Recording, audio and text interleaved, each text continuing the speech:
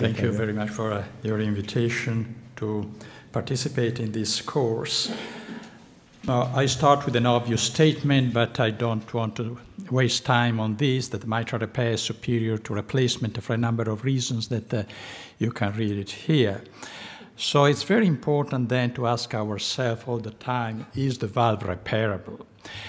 And um, of course, uh, this is uh, depending on the experience that everybody can have, is depending on the volume of the hospital, and um, according to the volume, you can have a different prevalence of mitral valve repair, and of course, you can have a different uh, results in terms of uh, mortality.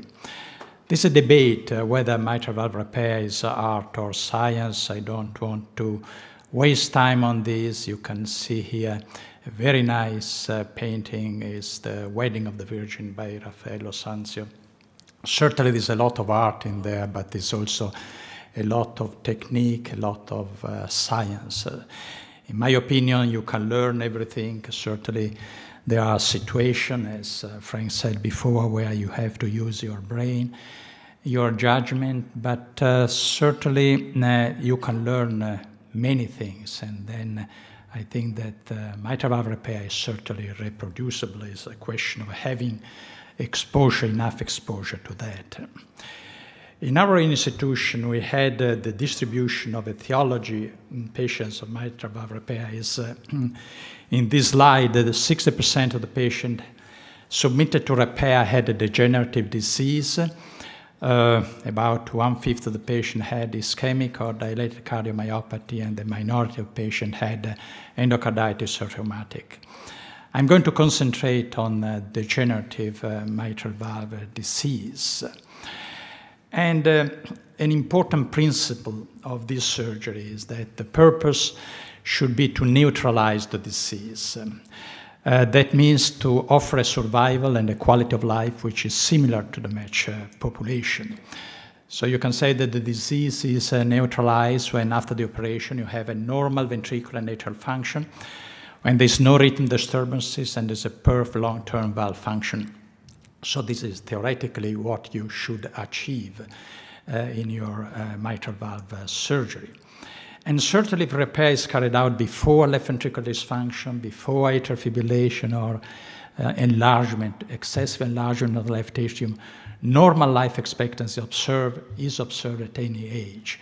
And you can see here in this slide that um, everybody can have neutralization of the disease because beside the survival also quality of life is very important and uh, you can have a, a, normal quality of life if the repair is uh, carried out at the proper time in a perfect way.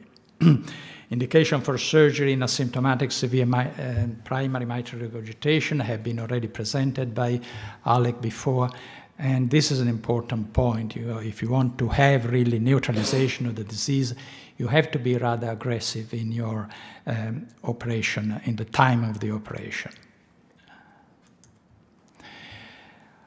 Uh, if you have a girl like this, you see, a beautiful girl like this, uh, certainly, if you make a, a, midline sternotomy, you cannot say that you neutralize the disease. So it's a, it's a very important aspect of mitral valve surgery, particularly in young women or in young people in general.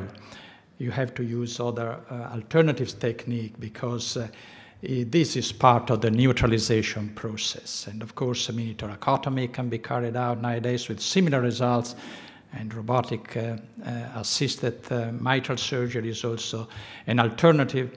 I think personally that this, we started robotic surgery in 1999, but then we abandoned it because it's really too expensive. Now there's a revival around uh, United States for sure, but also around Europe now is starting again with robotic surgery. But certainly the price and the cost of this type of procedures is extremely high.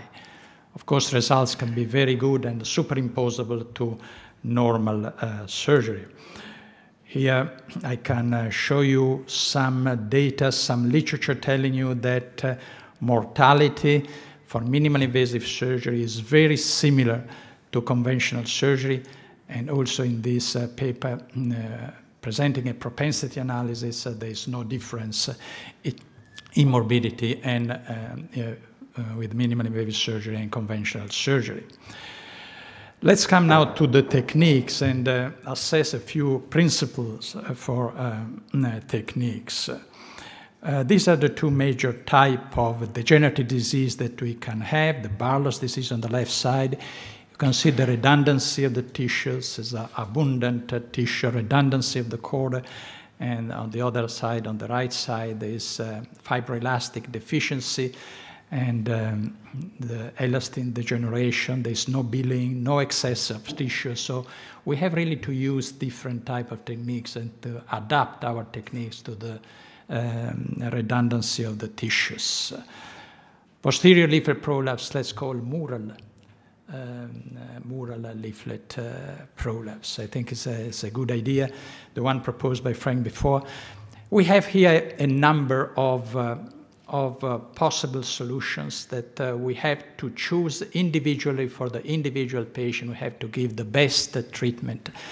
Certainly, the posterior leaflet prolapse has been considered tradition to be an easy, an easy operation for mitral valve surgeon, but uh, in my opinion, is not true. As was uh, very well pointed out before by Frank, is uh, certainly the mitral valve, the, post, the leaflet can really present with a, lot of changes. With the, also the the central lobe uh, can be uh, can be divided uh, also, and uh, you can have uh, deep uh, clefts really interfering with the with a normal and classical repair. So I think you have to use a lot of judgment also in the posterior leaflet prolapse.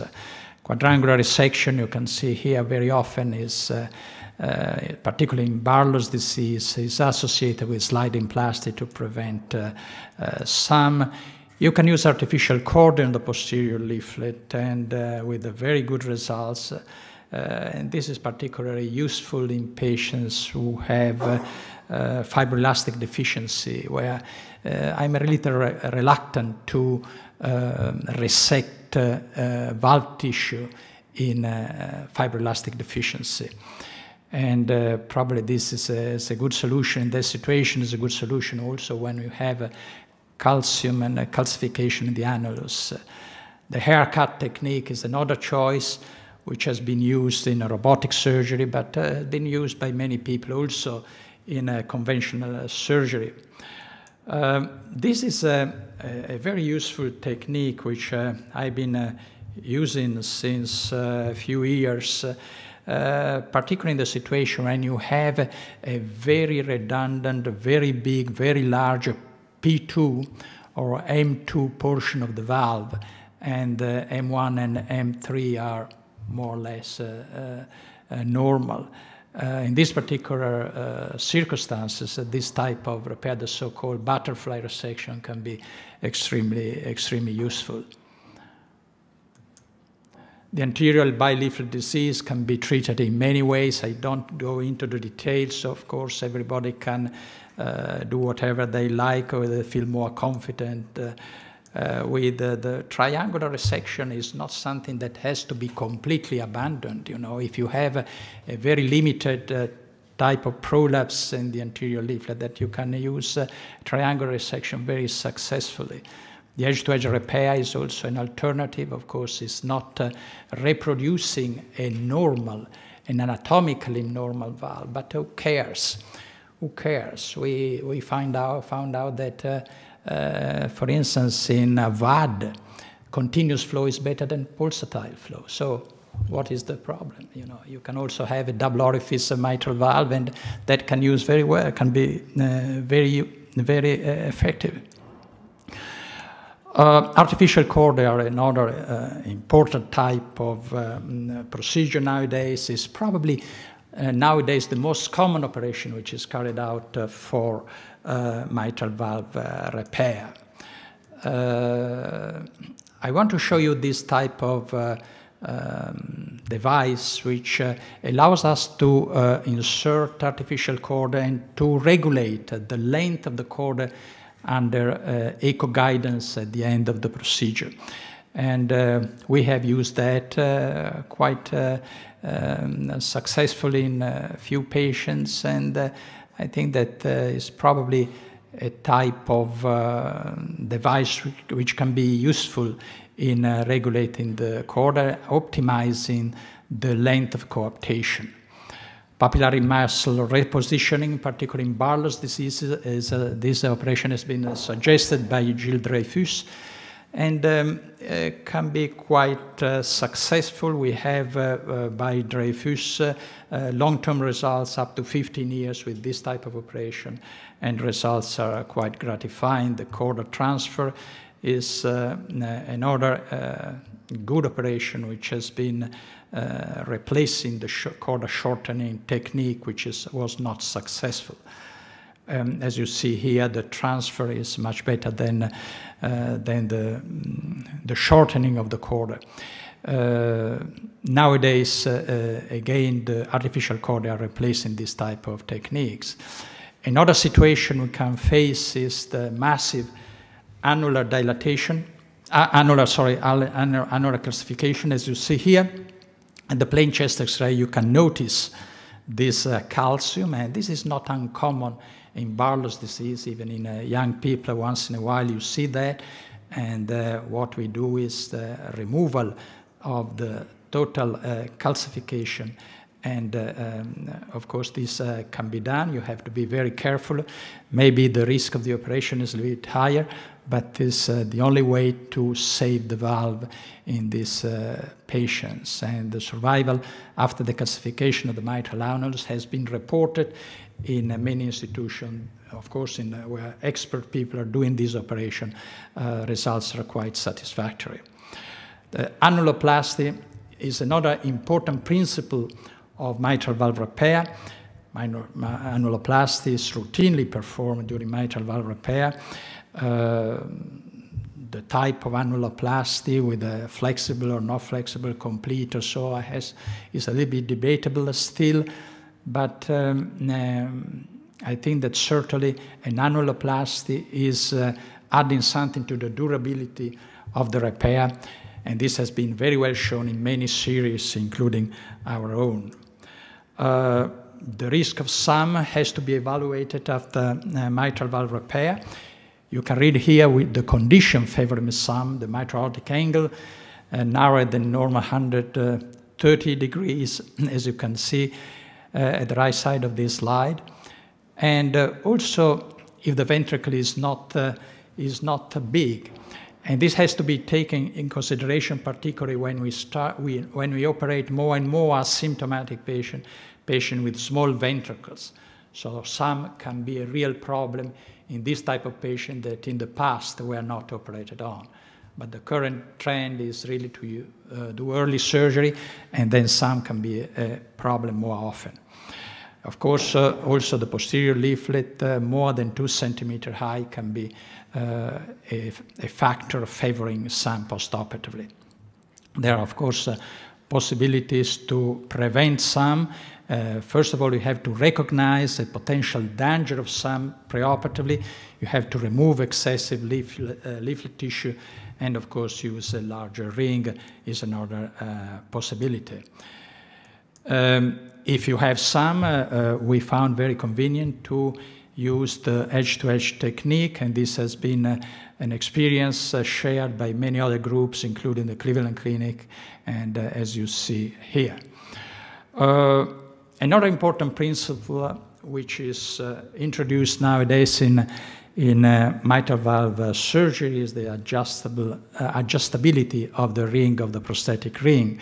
Uh, there, as you can see here, there are basically three type of rings which are, can be um, used, and uh, we have experience with all these type of rings. Uh, um, recently, um, we have been using this type of ring of. Uh, um, the, the important thing is that even if you have a, a, very competent valve, you can uh, optimize the coaptation length. Uh, and uh, you know, in this experience that we had in team 10 patients, a very small experience, the coaptation length was uh, 1.1 centimeter as a mean. So this was really obtained optimizing the coaptation length after surgery, and this hopefully is providing durability to your repair. So in conclusion uh, of this uh, short talk on principle of mitral valve repair. I must say that neutralization of disease is the goal to be pursued. Surgery should be carried out before left ventricular dysfunction and atrial fibrillation, as has been very well pointed out also in the recent uh, guidelines. Appropriate tailored techniques should be used, and the individualization of the um, individual data. This is a big advantage of uh, surgery uh, versus percutaneous uh, uh, repairs is the appropriate tailored technique should be used according to the anatomy and to individual uh, uh, lesions of the single patient. And certainly perfectly competent valve with optimal length of coaptation is expected to be durable over time. Thank you.